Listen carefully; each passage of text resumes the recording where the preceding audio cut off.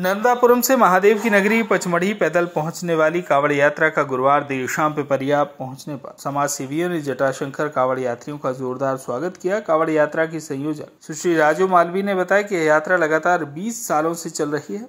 सिर्फ़ कोरोना काल के चलते एक ही बार स्थगित की गई थी। इस कावड़ यात्रा में सैकड़ों श्रद्धालु महादेव को जल अर्पित करने पचमढ़ी जटाशंकर पहुँचेंगे। नर्मदापुरम के सेठानी घाट से माँ नर्मदा का पवित्र जल लेकर लगभग डेढ़ सौ किलोमीटर की पैदल यात्रा कर दुर्गम पहाड़ी पर स्थित भगवान भोलेनाथ को जल अर्पित किया जाता है। निकाल रहे हैं आप? जटाशंकर कावड़ यात्रा हमारे क्षेत्र में 2003 से प्रारंभ हुई है। 2023 यानी बीसवा वर्ष है। स्वाभाविक रूप से भगवान भोलेनाथ को श्रावण मास में कावड़ इसलिए चढ़ाई जाती है कि भगवान ने हलाहल विष पिया था, उससे उनकी शमन हो सके, उसकी शांति हो सके। हम माँ नर्मदा जी को कंधे पर लेकर जा रहे हैं और उन्हें भगवान भोलेनाथ का अभिषेक करेंगे नर्मदा जी से।